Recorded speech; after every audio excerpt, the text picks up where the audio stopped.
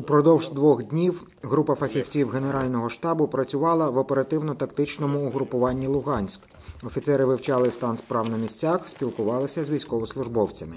Настрій підлених добрий, настроєні по-бойовому, е, люди забезпечені, зброя, боєприпаси, готуємо інженерному відношенні позиції. От, тобто ну, ми готові до любого виклику ворога.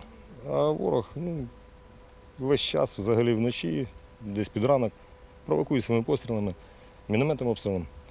Але ну, за вказівкою командування АТУ, командира бригади, ми повинні виконувати мінські угоди і тобто не відповідаємо.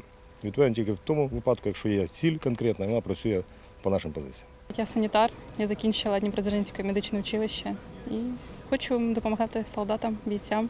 Ну, Останнім часом установка доволі так і спокійна. Ми не наблюдаємо провокацій зі сторони супротивника. Чутно тільки інколи звуки техніки. Військові мали можливість поставити фахівцям наболілі запитання. Я знаю, була постанова Кабміна, компенсація за неотримане житло. От оця робота колись буде проводитись чи налагоджуватись?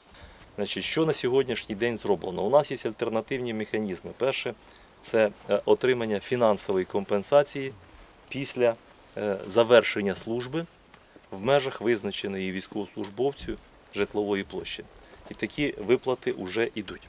Я особисто знаю багато людей, які завершили службу і отримали фінансову компенсацію замість того, щоб чекати житло.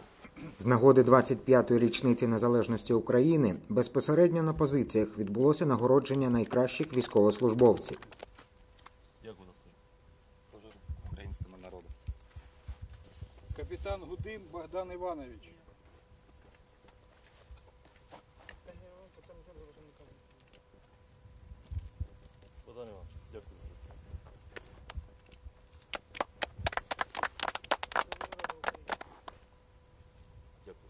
Служу українському народу. Головні висновки е, за результатами цих двох днів роботи. Перше, е, бойовий дух людей високий. Ми маємо тут кращих військовослужбовців, кращих українських патріотів, які не на словах, а на ділі захищають батьківщину. Цим треба пишатися, це треба берегти. І це дійсно ядро Збройних сил, ядро майбутніх Збройних сил, які ми будуємо за стандартами НАТО. Друге, Збройні сили потрібно інвестувати.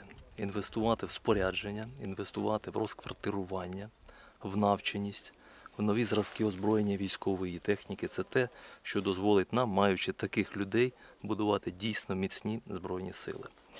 Третє, е, обстановка, на жаль, не спонукає до мирних розмов. На превеликий жаль, ми всі спостерігаємо, що з того боку е, лінії розмежування продовжуються військові приготування, що означає, що ми повинні бути готові. Готові повинні бути і морально, і матеріально, і таким чином продовжити захист територіальної цілісності і незалежності держави.